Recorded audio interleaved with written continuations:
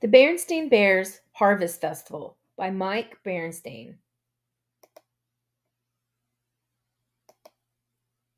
It was a beautiful autumn day in Bear Country. The first frosty nip was in the air, and the whole bear family was outside enjoying the bright fall weather.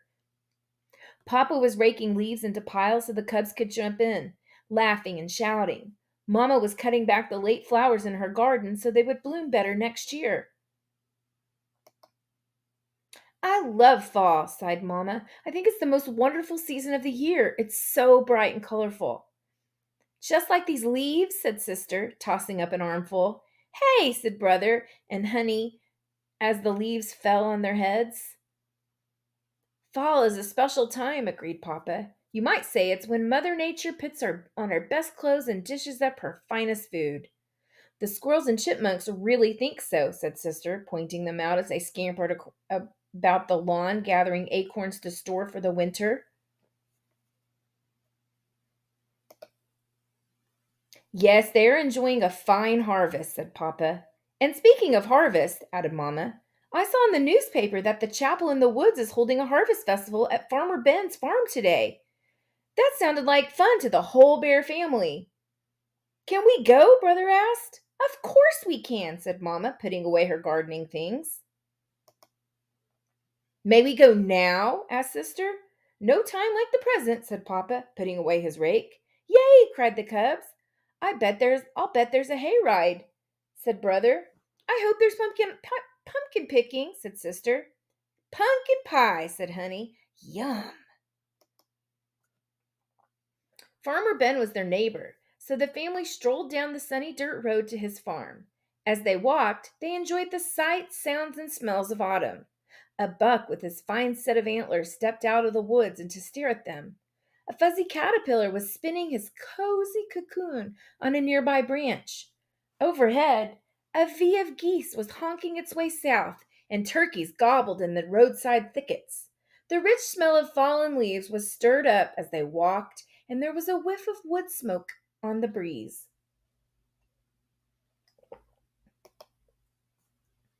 Would you say Mother Nature is putting on a good show for us? said Brother, kicking up a drift of leaves. Well, said Mamma, pointing to the heavens, you know Mother Nature works for someone a big bit higher up. Yes, agreed Papa, and harvest time is a much is is about much more than just enjoying the season. It's a time to give thanks to God for all his blessings, for the food that grows in his good, rich earth, and for the wonders of nature that he has created. Looking around the peaceful autumn scene, the cubs could see just what Mama and Papa meant. They certainly were blessed. As they arrived at the farm, they greeted Farmer and Mrs. Ben, along with Preacher Brown and all their friends from the chapel in the woods. Some of the farm's ripe crops were gathered together in a beautiful display shocks of yellow corn, of, bales of hay, baskets of bright fruit, and heaps of autumn vegetables. And much to Honey's delight, there was a batch of Mrs. Ben's tasty pumpkin pies. Come on, everyone, Farmer Ben called. Our first harvest festival event is about to begin. It's apple picking time here on the farm. Let's see how many bushels of apples you can gather. So the whole Chapel in the Woods family marched into the apple orchard and climbed ladders to reach the red, ripe apples. The cubs tried to outdo each other. They picked and picked and picked. These apples will make lovely apple pies, said Mamma. Good job, cubs, said Farmer Ben when they saw their full baskets. I'm about ready to hire you as honest pickers. Would you like to try your hands at pumpkin picking too? Asked Farmer Ben. That's my favorite, said Sister. So they headed down to the pumpkin patch to look for the roundest, orangest pumpkins. All the cubs searched and searched. Too lumpy, said Brother, looking for one pumpkin over. Too lopsided, said Sister, holding up another. Too little, said Honey, picking up a teeny baby pumpkin. Then they spotted their perfect pumpkins. Three nice, big, round, orange beauties. Just right, said Brother. Just right, said Sister. Right, said Honey. The next event, announced Farmer Ben, is the hayride.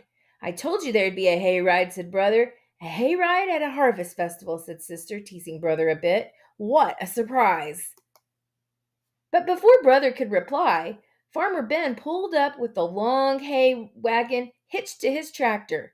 Everyone climbed aboard and sat on the bales of hay. It was scratchy and prickly, but smelled sweet.